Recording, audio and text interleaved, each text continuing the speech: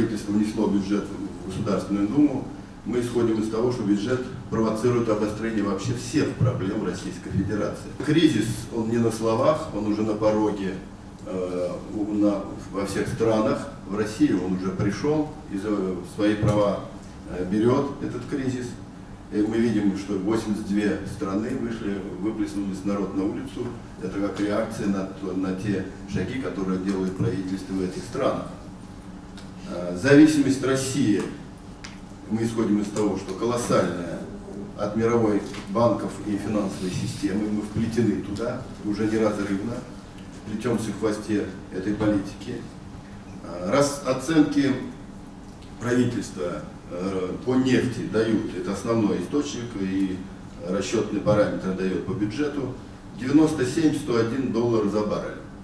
Но это не значит, что она сохранится, а это доходная часть прогнозируемая, потому что мы не участвуем, в принципе, в формировании цен на нефть, мы исключены из этого процесса, поэтому то, что назначит там, то и будет. Упадет нефть, э, сразу образуется огромная дыра в доходной части бюджета, а отсюда все сокращения социальных программ, в первую очередь это мы уже проходили.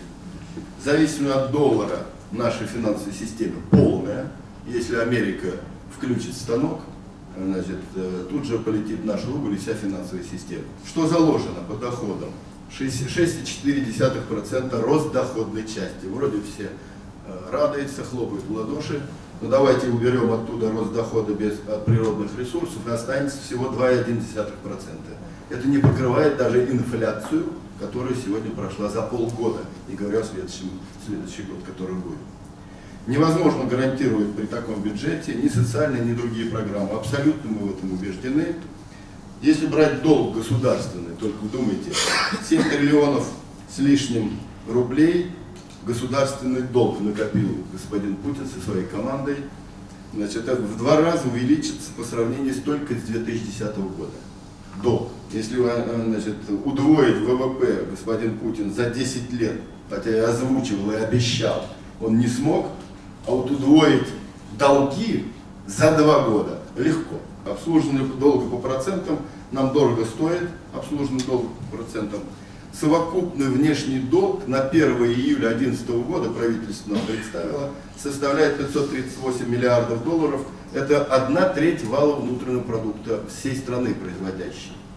Значит, э, он превысил объем золотовалютного резерва. У нас 14 миллиардов долларов золотовалютный резерв сократился это недалеко до дефолта.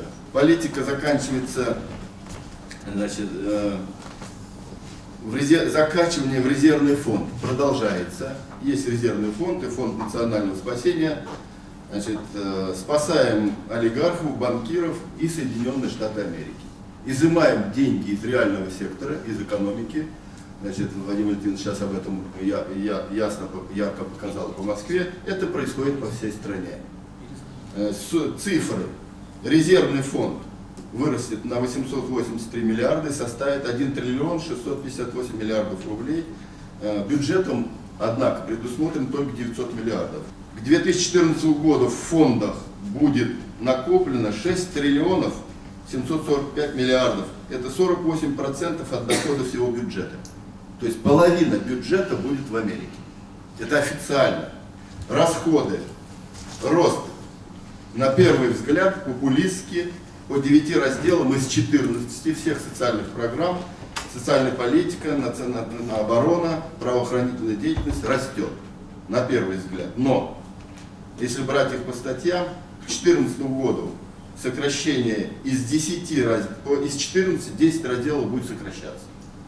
Значит, почему выборы 2011-2012 годы выборы, и сегодня можно показать несколько процентов роста, а дальше резко все сокращать. Примеры.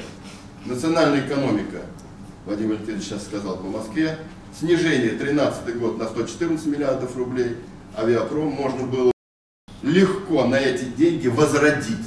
Вот сокращают в 2013 году на такую сумму выделения средств из бюджета на э, нашу экономику. ЖКХ, сокращение 2012 год на 96 миллиардов, доля ветхого аварийного жилья, причем увеличивается в 6 раз. Образование в два раза меньше необходимого выделили. не нужны в год 300-летия Ломоносова ни образованные люди, ни просвещенные, э, так сказать, и детишки наши в том числе.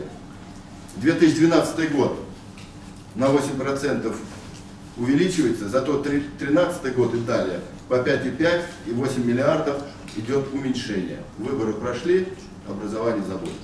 2014 еще на 60 миллиардов будет урезано. Это уже сегодня озвучено в проекте решения. Я, мы считаем, что идет планомерное разрушение системы образования нашего и всеобщую объявили дебилизацию народа российского, в первую очередь русский народ. Культура, как всегда, снижение на 88 миллиардов до 82, ее не было, советской русской культуры уничтожают дальше не отсутствием финансирования.